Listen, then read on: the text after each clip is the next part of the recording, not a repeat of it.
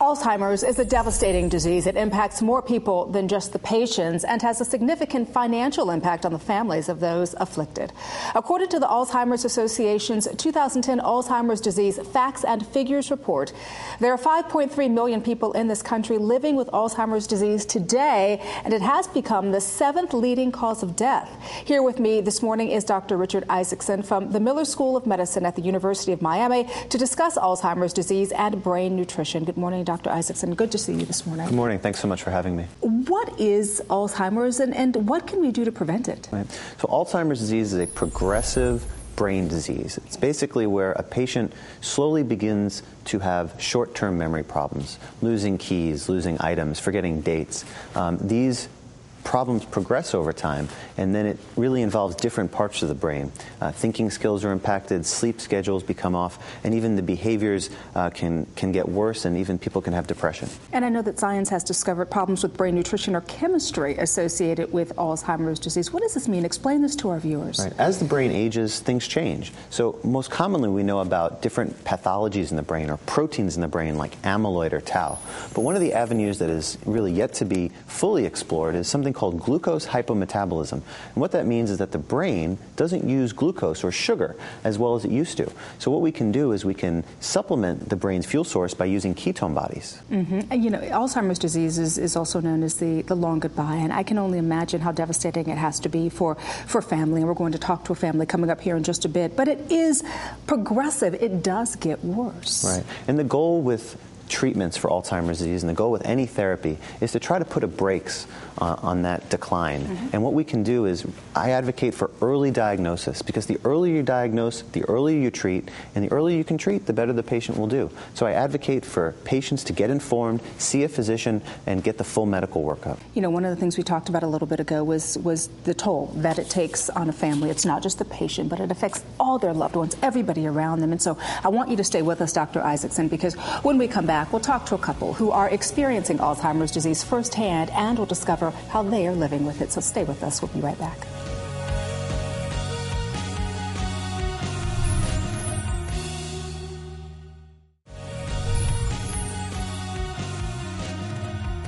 Welcome back. Before the break, we were talking to Dr. Richard Isaacson about the effects of nutrition on brain function in Alzheimer's patients. Joining us now is Laura and Jay Jones. Jay was diagnosed with Alzheimer's at a young age, and he and Laura have an interesting story to share with us this morning. And first of all, Laura Jay, I want to say thank you so much for being on the show to share your story this morning.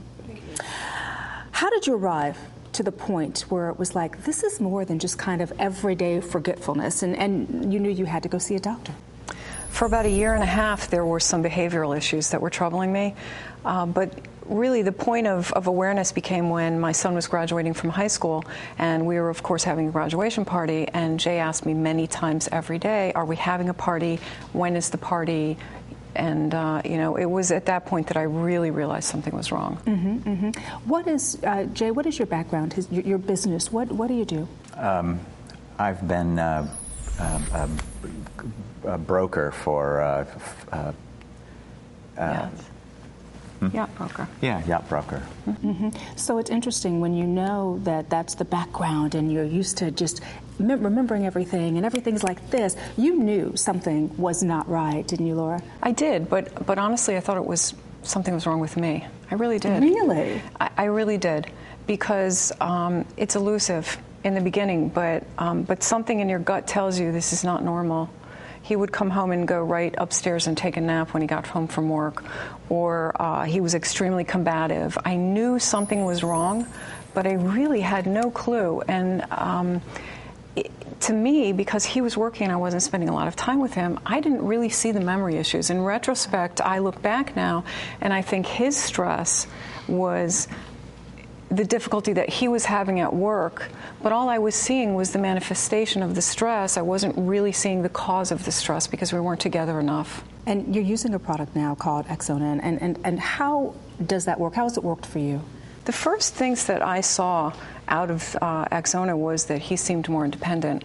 And for us, it's very important for him to maintain his independence, um, you know, for me as well as him, because I work full time. Mm. So uh, I need to trust where he is and what he's doing during the day, and uh, and he needs to feel like there's no one running his life. And uh, he rides his bike to the gym. It's about uh, a mile or two one way.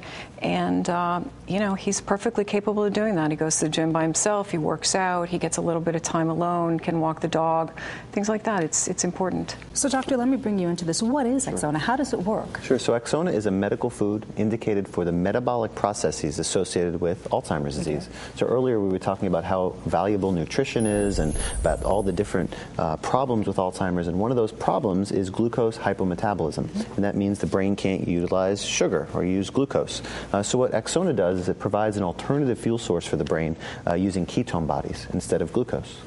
How important are the results you're seeing using Axona to you in terms of changing your life?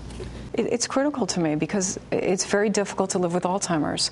Uh, it's very difficult to monitor someone's every move, and uh, it's difficult for the caregiver as well as the patient. You know, we have a seven-year-old daughter as well, so the independence is really what we're hanging on to the most, and uh, you know, I, I see a difference in him. I really do.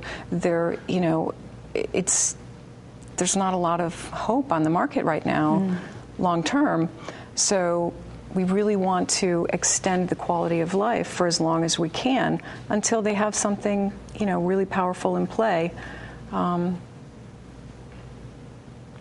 well, just and even just watching you guys, it's really emotional and touching to me because I can see how much you love each other, and just to come on the show and share your story just means a lot to us. So thank you so much for being with us on the show. I appreciate it. Thank you. And thank you, Dr. Isaacson. Thank you. And to learn more about medical foods and Alzheimer's disease, visit about-axona.com.